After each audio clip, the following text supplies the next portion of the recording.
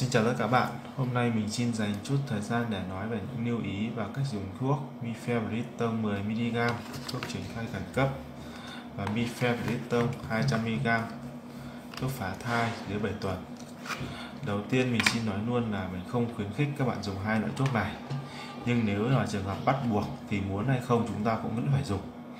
Vậy khi mua thuốc về rồi mà có những băn khoăn hay lo lắng hay chưa biết cách sử dụng thì mình xin hướng dẫn như sau một là các bạn phân biệt giữa hai loại thuốc này, cùng thành phần nhưng khác hàm lượng. Đây là mifebriton 10mg thuốc tránh thai khẩn cấp. Còn đây là mifebriton 200mg thuốc phá thai dưới 7 tuần.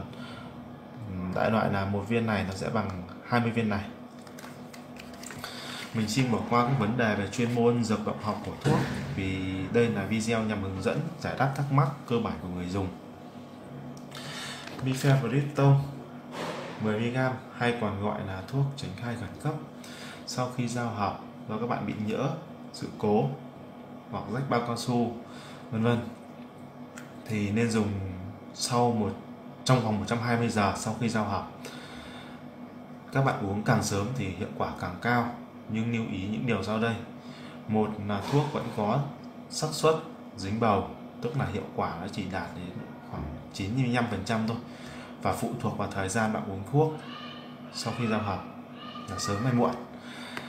Hai là các bạn chưa chồng con hoặc có chồng con rồi mà vẫn muốn sinh đẻ tiếp, thì mình khuyến cáo là các bạn không nên lạm dụng thuốc và đặc biệt là một tháng không nên dùng hai viên, tức là hai lần uống mifepristone 10mg còn vì sao thì các bạn có thể tự tìm hiểu hoặc là liên hệ trực tiếp với mình.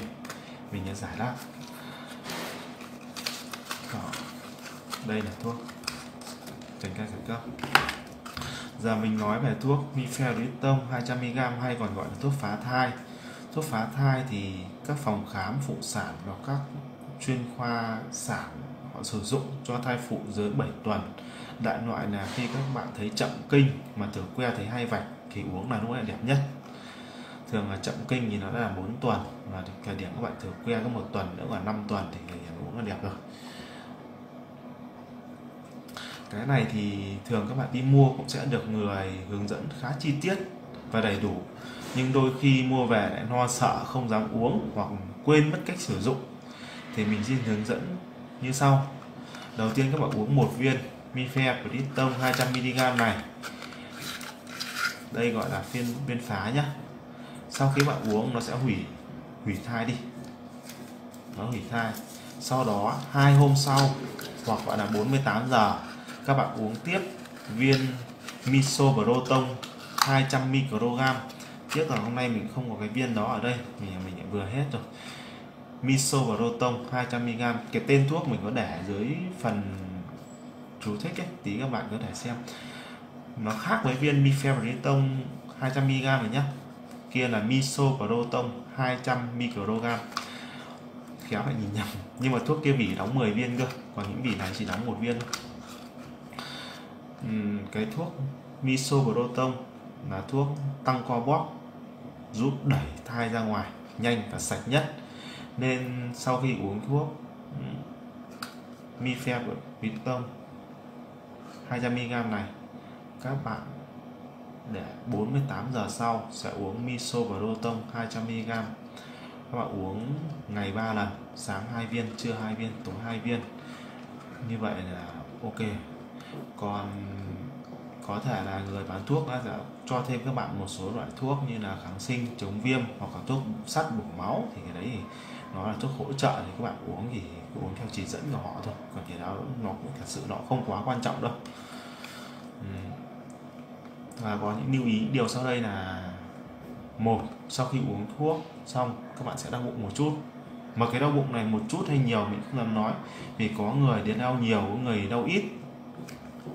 Hai là sau khi uống thuốc 10 ngày mà vẫn ra huyết nhé sau khi uống thuốc 10 ngày mà vẫn ra huyết.